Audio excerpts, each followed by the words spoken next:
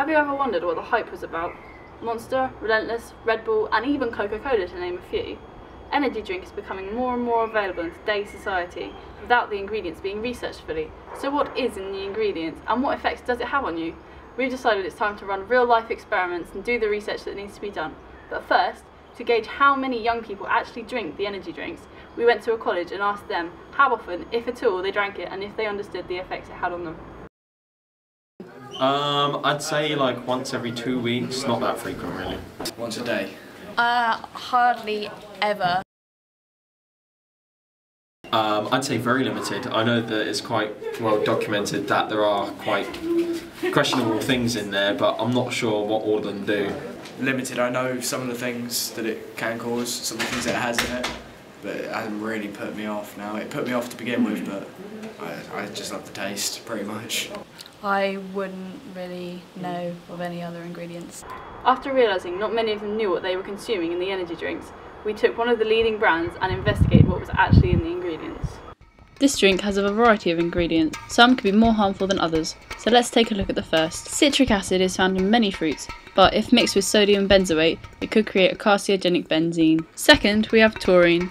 Has no proven positive or negative effects on people. Third, we have caffeine, which is a highly addictive substance with many well documented side effects.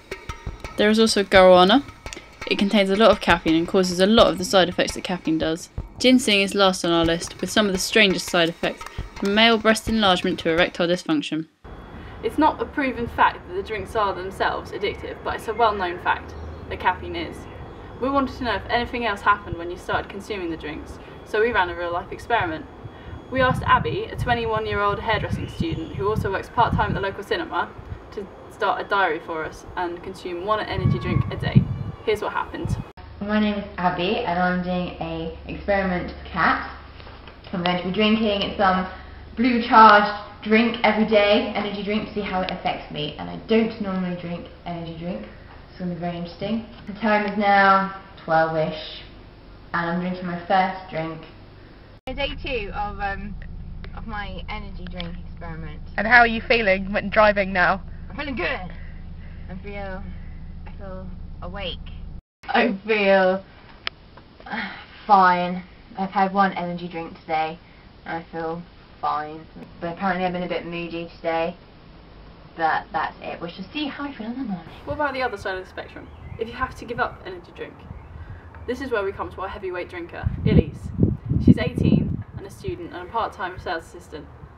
She's been drinking energy drink for four years, having about three to four cans a day, with it varying a little. We asked her to give it up completely, but only allowing her to have about 500 ml of Coca-Cola every day. Here's what happened. Day one. I've only just woken up. It doesn't look like it because I've just done my hair. Um, I feel so rough at the moment. I'm gonna go and get my energy drink. Usually I'm gonna drink every three hours. And now none. Do you feel like you need one? Yeah. Okay, just finished work. Snapped at a few people. My manager, mum.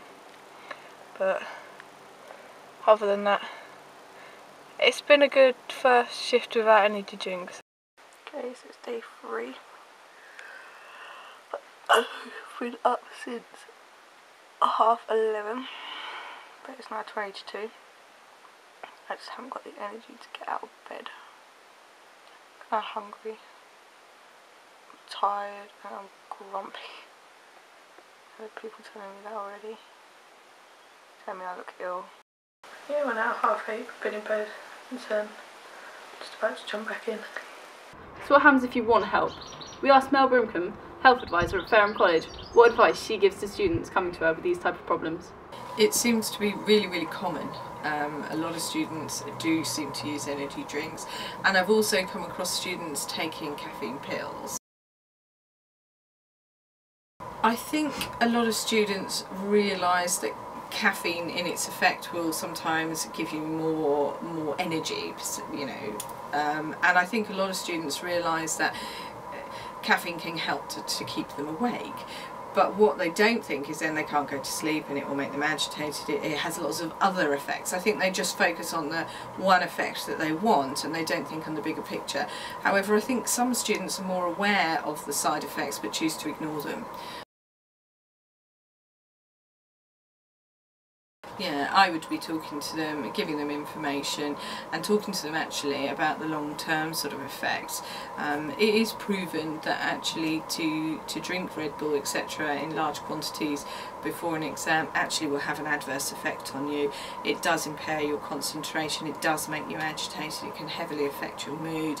And I tend to focus on yeah, okay if you really feel the need to, to, to get a little bit more energy, can we look at alternative ways of getting that? You know, eating a better diet, looking at your sleep patterns. Because the other thing is caffeine in large quantities will affect sleep pattern, which then makes you feel tired, therefore you drink more caffeine and it kind of goes round and round in circles. Now we know how to deal with addiction, let's see how Abi's getting on. Yeah. Well then. So, it's day three of my energy drink experiment. I feel fine, feel tired. I'm going to go to work today.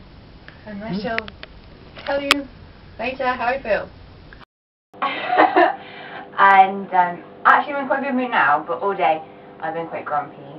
My mum said I was quite grumpy this morning and a bit rude at work.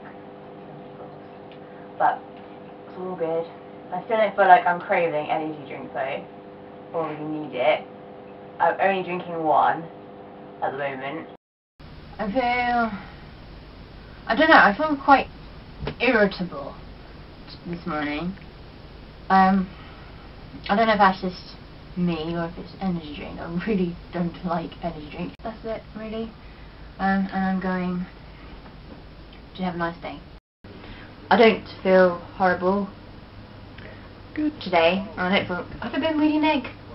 No, not really. Not really. Not today. Today's been a good day. I don't really like energy drink. I don't really enjoy it. And I'm not craving it. Okay, so it's day five of the energy drink experiment. And today I really did feel like I needed an energy boost drink. So here's my energy boost drink here. I'm drinking it. I just feel really, really tired. Okay, so I've just got back from work and I'm in a really stinky mood. I'm not happy. Um, I really, I had my energy drink before I went to work and just had one today.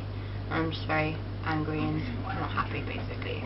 So, after getting more irritable and grumpy after only five days of drinking energy drink, on a regular basis it seems you get more than what you bargained for. And what about the long term effects? Back to Elise. Day four.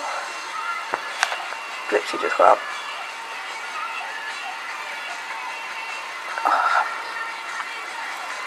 Headache. Day four. I went to college this morning. A Bit snappy to be honest. Um, got asked if I was okay. I think people thought I was ill. no, just lack of caffeine. I think I have an addiction to it. Just about to make myself some food. I'm rather peckish. Um, normally I'd be having an energy drink right about now on a Friday. And then I'd go around completely tidy up the house. Of course I can't have that so I haven't got the motivation to go and do it. It's quarter past nine. I feel so bloated. All I've done is eat since I've been in. Which is very unlike me. Half seven, just about to head off to work for a nine hour shift. Not looking forward to it at all. Ciao. It's been a good day actually. Um, work was pretty cool. Built a few things. It was nice with a few customers. And then I came home and my family kind of made me laugh. It, it's been a good day. Hey, it is four o'clock. Um, I didn't vlog this morning because I was late for work, so I didn't have time. But I woke up in an alright mood. Had a headache again. I'm hungry. I'm cranky. want to bitch slap someone. Day 8. Oh yeah, I get it back. It's nice to be off it for a week, but I'm going to stick with. She kept to what she said, and she's back to drinking her three to four cans a day, regardless of what people might say about the side effects. She's even experienced some. She told me about one time where things got particularly bad. It was back in October 2009. I had literally just started college. Uh, where I woke up one morning to find growing pains in one of my legs, uh, which I didn't really think anything of because everyone gets growing pains. It was then the next day it kind of moved to my other leg, and then the next day, and then so on. It just gradually moved its way up my body.